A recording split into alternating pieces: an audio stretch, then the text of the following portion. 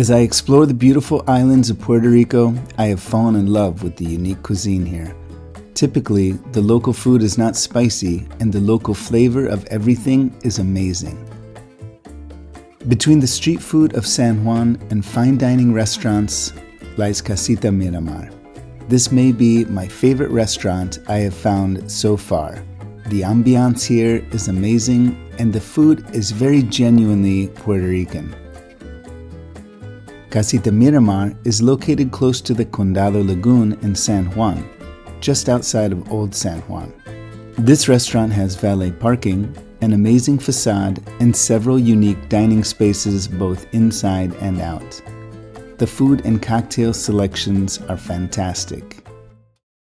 Upon arrival, we were greeted with complimentary sopa de plátano, plantain and root vegetable soup, also bacalaíto, which are crispy, fried cod fritters. I started things off with my favorite island cocktail, a Barrilitos Old Fashioned. Barrilitos is the oldest rum recipe on the island, and you can tour the distillery nearby.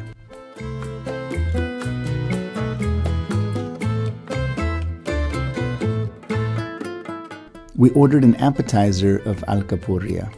This is a popular street food in Puerto Rico smashed plantain, jautilla, and banana stuffed with meat and deep fried. Oh my god, these are amazing. As I looked around the restaurant and this cozy little nook that we were seated in, I was blown away by the ambiance of this quaint establishment. I found myself tapping my foot to a nice little salsa number from local legend Charlie Aponte in the Gran Combo de Puerto Rico. As the song Dime que quieres ended, our main entree arrived. It was beginning to feel like this entire dinner was magically orchestrated just for us. I ordered pastelon, which is sometimes referred to as Puerto Rican lasagna, carne molida, or seasoned ground beef stuffed between amarillos, which are ripe plantains, and smothered in a cream sauce. This was actually my first time trying this dish, and I loved it. The dish was accompanied by arroz y habichuela, which is a very popular accompaniment here rice and beans.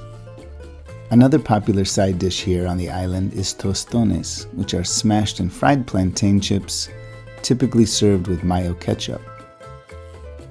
As if all of this wasn't enough, we also had churrasco. For dessert, we enjoyed a classic Puerto Rican dish, tres leches. This local favorite is a light sponge cake soaked in three types of sweetened cream. Just when we thought we'd finally had enough, our very nice and professional server brought us a complimentary after dinner drink consisting of light rum, anise, and three coffee beans signifying life, health, and love. All three of which I am grateful for. I was certainly grateful for this spectacular experience at this quaint San Juan restaurant.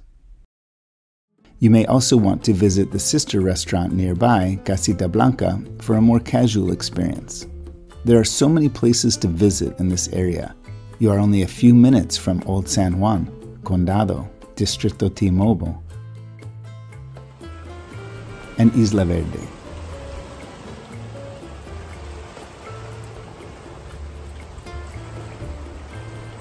If you are in Old San Juan looking for local cuisine, I also recommend El Jibarito on Sol Street, highlighted in my Old San Juan walking tour video, and Deaverdura, which is also located on Sol Street at the corner of Calle de la Cruz.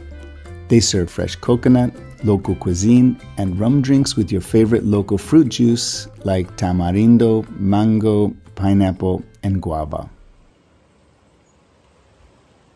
Please visit my channel for other videos of local restaurants, resorts, and tourist destinations around this beautiful island, and you can watch more videos here.